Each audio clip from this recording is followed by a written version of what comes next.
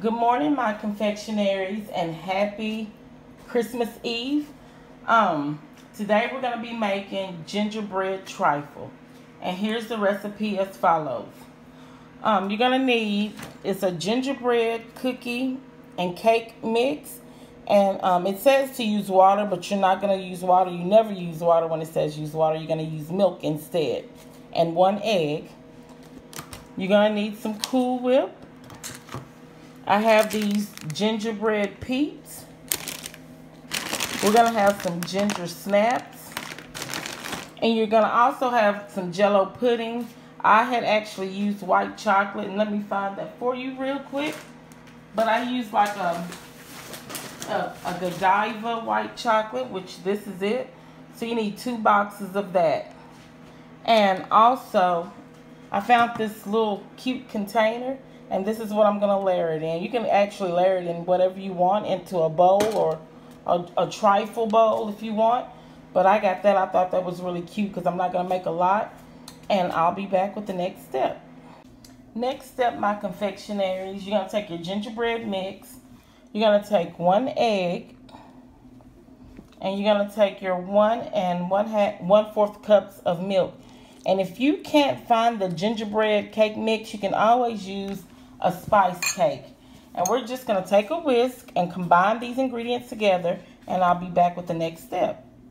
Next, my confectionaries, you're going to pour your batter into a 9 by 9 cake pan or an 8 by 8 cake pan and we're going to bake this on 325 for 30 minutes. And um, I'll be back with the next step. Next, my confectionaries, you're going to take your cake out of the oven. You're going to let it cool completely. And then you want to cut it into squares. And I'll be back with the next step. Okay, my confectionaries, you're to put cake. And then you're to put some your pudding.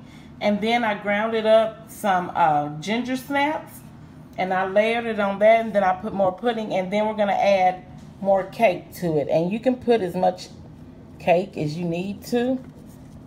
And then on top of that, we're going to add your um, white chocolate pudding. And it doesn't have to be perfect.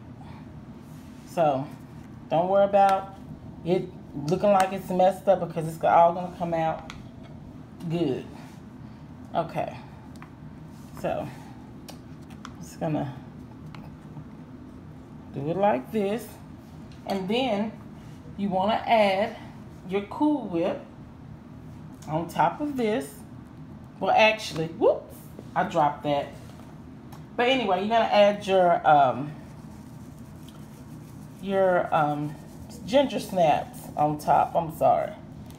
You put ginger snaps on top of that. And then you want to add some more of your whipped topping.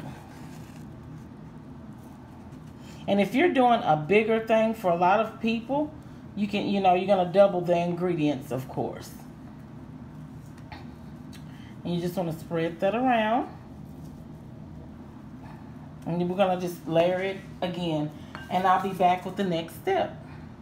Okay, my confectionaries, here's the finished product. It's your gingerbread trifle. And I hope y'all enjoy this recipe. Please like, share, and subscribe. And hit that bell button to get notified. And y'all, it don't get no better than this. Enjoy.